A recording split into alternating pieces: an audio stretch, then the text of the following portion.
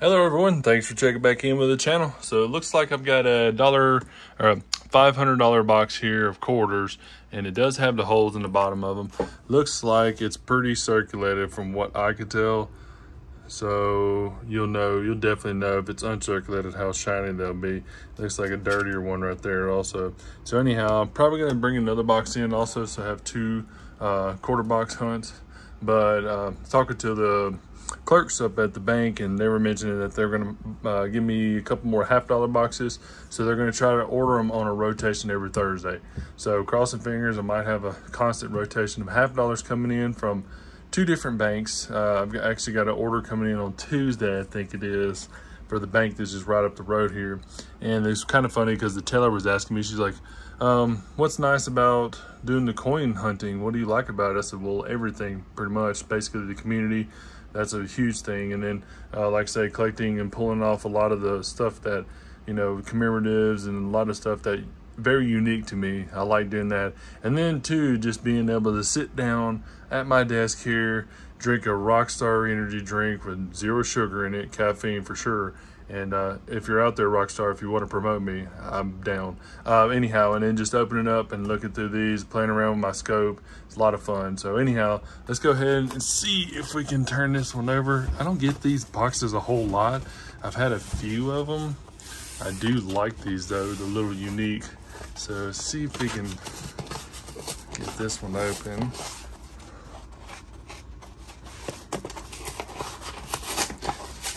Y'all see that story about that 18 wheeler? They got, they stole like $2 million in dimes or something like that out of the back of the truck.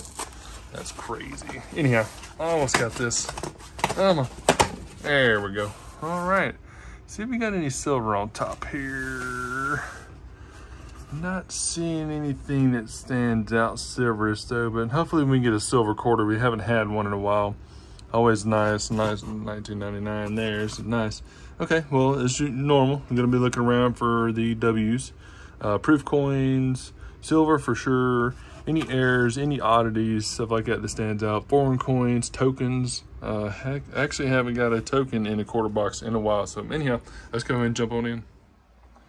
All right, well, we're 10 rolls in, so I've actually stacked up the Bicentennial here, which, you know, usually I have them separated out from Bicentennial in front of me and in varieties and in upgrade or so forth, so on. So going to try to keep the mat clear, and in case we get something, we can set it down and work off the mat. Uh, we did pull another 1970D here, um, so usually I'm going to set the 65s through the 71s there. Uh, 65s are going to be looking for the DDO and the DDR you know, 66 through I think 71 there. You're going to be looking for the Denver minted ones. For them, they should have like a D over D or DDO and stuff like that on there. Quite a quite a few varieties for those six years there. And then the Bicentennial, you're going to be looking for the DDO or the Die Clash that's actually on the obverse reverse of it. But this one here I'd actually pulled out of the box. Uh, this is also another 70D. And as you see this right here, this is actually a spitting eagle. This is where they would have a die clash um, that was happening. So it's pretty obvious. Now, what's crazy is in past videos, I have mentioned that an 83 Philadelphia actually has a die clash the, the same way, or this, the spitting eagle portion. So that's actually pretty crazy. That's It's pretty worn in. I know it is, as you see. So I pull it off the scope here. So it's worn in. You can see this the spitting part on top of there. Let me get a little closer. Barely coming out. It's a little worn in, but it's definitely there.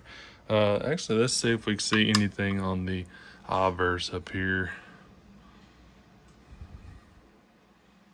Not seeing much of anything. But it's been reading, it's saying that it's a die clash, which makes it that's kind of interesting.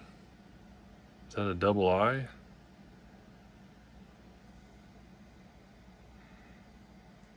Hmm. That is interesting. Not for sure what that is. Definitely looks like a double I. It's almost like it's got an extra liner here and an extra piece here. And then the middle portion there you see. So I'm not for sure. That actually looks like a double die. that piece up here. Definitely interesting. I just popped it out, so I just wanted to bring y'all in to show y'all. So that's definitely going to be the Spitting Eagle, but that's for a 1970 Denver. Yeah, little warning. Anyhow, let's get moving on. All right, we've moved through 16 rolls so far. Actually haven't stacked up much of anything, a couple more varieties. But under the scope here, this is actually a 1983 1983 Philadelphia. Worn in, pretty rough shape.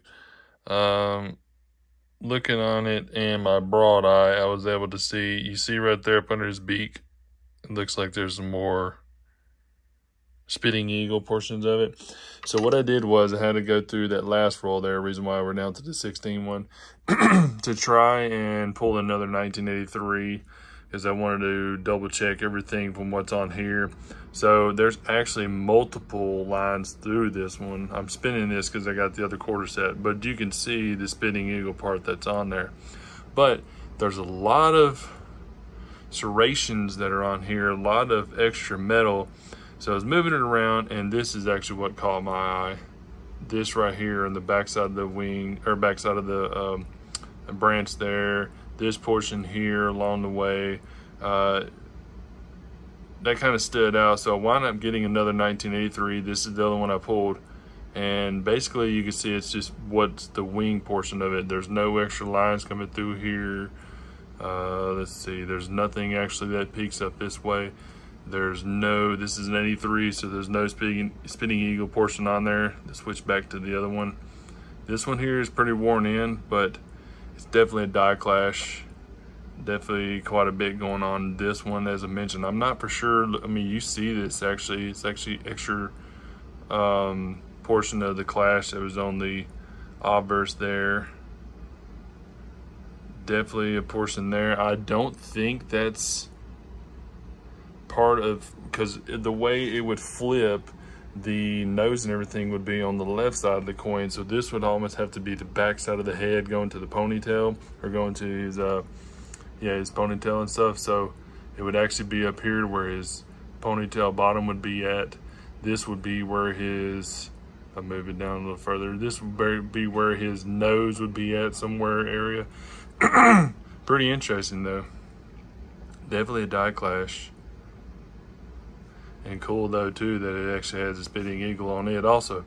I've never found two in the box. I found a 1983 uh, spitting eagle before, but it didn't have nowhere near this much telltale signs of a, a clashing and stuff. So that's pretty awesome. I mean, it's got a little bit on it, but loss of a lot of meat on it. So definitely another another one. So we've got a 1970 clash, and then we've got a 1983 both spitting eagles. So that's pretty awesome. All right, let's keep up. Box number one is down. So added quite a few quarters up here, as you see. Uh, all the bicentennials, as mentioned, 65 through 71s there. Got one possible upgrader, some varieties to check through. And then I've been setting up the uh, coins up here that I wanted to double check. I did get a nicer toner there. It's hard to see on the camera there, but yeah, it's a little bit of toning on it. So pull this one off to the side. Check my album for that one. Let me go ahead and run through these. If I get anything, bring it back in. If not, bring it in for box number two. Okay, I actually pulled a couple of varieties here. This actually was a 1983P in the box. A Denver Mint. Pretty good condition. A little lost for luster, but uh, really good condition all in all. So I'm going to hold that one off to the side. These two are the ones with the 70D and then the 83 Philadelphia there with the Spitting Eagle. So keep this on top. Now, this is the one I need to check for upgrades. I'm going to wait until I get that second box to run through. This is one of the uh, Philadelphia El Yunque quarters there that are really tough for me to get out of the box. So I'm going to hold on to this one also. Now, this one here, you can easily tell in God We Rust. Basically, the G and the R are pretty much, or G and the T are pretty much gone out of it. So, in Odd We Rust. So yeah, that's going to be the 2005 Kansas quarter. Now this one here, this is the new 2023 Bessie Coleman. These have a ton of errors, a ton of stuff going on with these. You can find a lot of the uh, die chips everywhere cracks everywhere. So this one here has got a nice little die chip here. And then normally I'll move it down and I'll check out the FC on here. So as you see, it's actually doubled. If you get some little lighting, see the doubling that's going on. It's actually on the tip here. Not, I mean, it's kind of a bolder F on there. It's not much showing on the F. Probably turn the camera around or turn the coin around and maybe see a little more on it. Uh, as I mentioned, inside the Coleman here, you can see a lot of, there's a nice little die crack there. A lot of die chips usually inside of the Coleman. But then too, over here in the A and R, so let me spin this. Get it lined back up. And then get some shade on it you can definitely see the R there. The A's got a slight tine to it, but the R's got a nice little uh, kicker there also. Then we get some shade on it. Here, stop moving. Yeah, you can see the R on there for sure. Nice little die crack through it also on the top and the bottom there. But a little bit doubled on the bottom here as you see. So it's a nice little doubling, little slight tine there, as I mentioned. I looked on the obverse of it, nothing much, but this is the one that was toned. This is the one that was holding off to the side. It's not much, too terribly much going on with it, but definitely a keeper. All right, let me go ahead and push this off the side, get in the second box here, and I'll bring you back in. All right, went up to the bank, dumped the other $500 off, um, had a little spare change in the truck, so I was able to um, fill up the slots that those are missing in there. Anyhow, got the second box. Make sure I waited for the pop on it. Looks like a lot. Oh, wow, okay. Is that the new 2023s?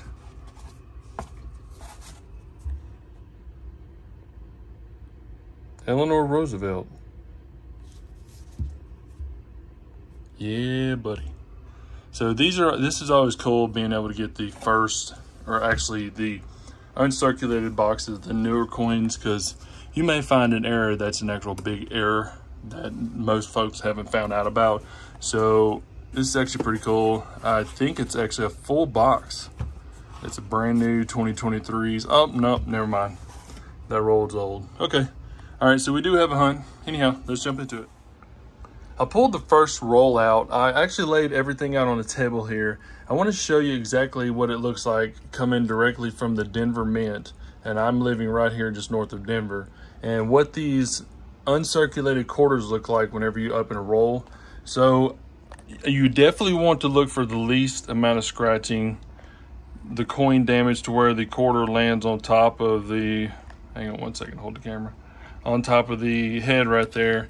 Uh, scratch marks, contact marks. That one's not too terribly up, never mind on the neck there. So it's got a little on the neck. You come over here, there's a big gash in the cheek on that one. So just to show you the quality of what it looks like whenever it comes out. Now, you know, you want to pick the best quarter with the most luster, no damage, reverse and back. The reed has got the reeded edge on it has to be good. So it's a lot to look for whenever you search for these uh, brand new quarters especially, but if you search through them and try to get a high grade, you know, submit them, get them slabbed or whatnot, uh, it's pretty tough. It's actually pretty tough. Um, I mean, I've got close calls at 67, 68. I have nothing at 69, 70 that I've ever pulled out of a roll. And, you know, like I said, there's a lot of folks that have, but there's a ton of folks who haven't. But yet again, I haven't got that high in grade coming out of the uh, rolls. Like I said, they're uncirculated, so it's a brand new box. Anyhow, back to it. All right, I got a 2023 Denver quarter up under the scope here. Wanted to kind of run through it with y'all just to double check a few things. Maybe y'all see something I don't. Now, like I needed shade, see the shade? So that's definitely going to be machine doubling with that that here. If you take it off, it looks like it's possible doubling, but definitely machine doubling. Let's keep moving through here. Let's see if there's anything on here. Anything on the eyes? Nothing on the eyes. No extra those 2023s that come with a lot of the uh, Drilling George and extra die chips on the nose. Not seeing anything with the 2023 date. No kind of RPM. LCF. Let's get some shade on it. Here, let's see. Just to make sure. That looks normal. Not much on there. In God we trust. Don't see anything on there actually. Just come down through the hairline, to the ears. Not seeing any extra die chips. No clashing or anything on there. The hair. All right, let's turn it over to the reverse. And I checked already on this piece right here. That's actually portion of the hat. So that's probably going to be one of the prominent areas. Basically, also in the globe structure here is going to be um, possibly some die chips, stuff like that. Let's turn this. Looks. What about that T? Looks like it's got some doubling actually on that T there. Yeah, see right here. There's some there, bottom side of the T there, so that's pretty cool actually. Let's keep going around the lettering. If I get my finger out of the way. Keep spinning this.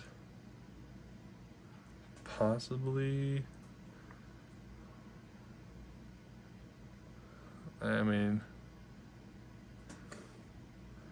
let's get some shade on it. It looks like that T there's got a little bit of serif on it. The E looks like it's got something going on in the inside. Basically on the inside here, as you see there, something right here also. Some more on the inside. So it looks like it loops around, possibly. Uh, like I say, the T there definitely looks like it's got something going on. Let's go to the, possibly with the N. See that right here in the shade of the, stop the, but right here looks like it's got a little, little bit of serif going on there the spinner completely upside around. Dollar. Not seeing anything there. Nothing in shade. Oh, possibly right there in the R. Let's see. Yeah, possibly there in the bottom side of the R there. It goes actually, sorry I got this new mount, but actually goes right here, goes inside of the R maybe a little bit on the inside there. Let's turn it some more. Yeah. It's just super bright from these new coins, these luster that's still on these coins. So, um, what about E pluribus here? Let's zoom in a smidge. Uh, let's see there. Mm, look at that P. You see the line in the inside of the P coming around in middle of the P, possibly this here. I don't know about that S either. I'm uh, not seeing anything on there, but definitely the P you can see on top of the P there. Keep cruising. Yeah, this big light that I've got to my right here is just overpowering for what's on here. It's funny because I tried using the smaller lights on the back and it just looked like a blur. It's so bright. Possibly in the end. Anyhow, that looks like it's got a little bit of doubling going on. Let's check the face. Over here with the ears. A little bit of damage there. Anything on the necklace. Nothing there. Nothing in the hair. A little damage there. That CAC, CAC. Not seeing anything on Universal that stands out. DE, nothing there. A lot going on in this 2023. There are a lot to look at. And they got a whole box of them too. So gonna take a little while. If I'm definitely taking this much time to look through them. A little bitty, actually it's like a die crack or something going through here probably nothing major, but definitely on the T there. I mean, that stands out like a broken leg. That's pretty crazy. So that's, I'm thinking it's definitely going to be some doubling on this one. But yet again, it's a full box of them. So let's, uh, yeah, let's keep moving along. That's kind of wild. All right, I got another one up under the scope here. This is actually just the next one. Uh, you can see right here on the T, on the R, zoom in a smidge. But just to make sure I take cast some shadow over it, You can definitely see the R stands out. You can see the T stands out. It's actually split. It's pretty nice split there. And then you come over here to the edging. You could tell, oh, you could tell at the end here, also inside the U there, outside of the U here, there's a little bitty piece there, just spin it for you to show you a different angle. See that? You definitely tell it's there. Standing out. Nice split. Mm, don't see on the T. Nothing on the E, D, S. So it's definitely doubling on the back. A reverse. I'm not seeing much of chips actually, which is kind of mind blowing. I figured I'd see quite a few die chips. I want to say there was one down here somewhere, but got a nice little it's not I don't think it's damage on the coin but like a strike through or like a little bit of a lamination error there you see damage up to the C is kind of like it's tucked up under the C so that's pretty interesting. Yep just another one third one I've looked at what I'm going to do is is actually in the video here it's going to be a to be continued or basically it's just going to be a solid 2023 Denver hunt there's a it's going to take me a while because this is what I've been through so far. These are ones with all the die cracks and the doubling, and it's mainly on the reverse. There's nothing on the obverse. Uh, I do have the scope and my little camera and stuff like that set up, so it's going to take me a while to run through all of these because I've only actually taken out the first roll. So as you see, 50 quarters laid out here, except for this over here. But anyhow, it's going to take a while, but just wanted to bring y'all in and let y'all know I did stack up the 1983 Denver there, it's pretty good condition. Just a little lost with luster, but got a lot left on it, really nice. So we did have the 1970D and the 1983 uh, Philadelphia Spitting Eagle. This is the one with the heavy die clash on the back. This is the one you can tell with the Spitting Eagle portion up there by the wing. Now, actually, the 19, uh, 1970 is supposed to have a broken wing. I want to say it goes from like the beak all the way down through. Uh, I think it's the 70 or the 74. I think it's the 70. But anyhow, nice little spinning eagle there. Um, it's, it's circulated. It doesn't have a whole ton of the uh, spinning portion there, but definitely the 1983 P did. Now we did have in God We Rust, we had the doubled FC with the uh, uh, die chip that's on the, the bird there, the uh, plane and whatnot. And then a 2000 12 El Yunque Philadelphia quarter. And I did look up for the 2006 quarter that I had set aside for the upgrade. It wouldn't upgrade, so I had a better one in the album. Anyhow, as I mentioned, I'm going to go ahead and cut it here, but make sure you stay tuned for the next video because that is going to be basically all of the ones I can stack up here for die cracks, uh, die chips, doubling anything that I find on the obverse and reverse, since these are brand new quarters and they just came out of the mint. So anyhow, um, hope you liked the video. Make sure you give it a thumbs up, please. Pop a comment in there if you got a question. Um, and y'all have a great day.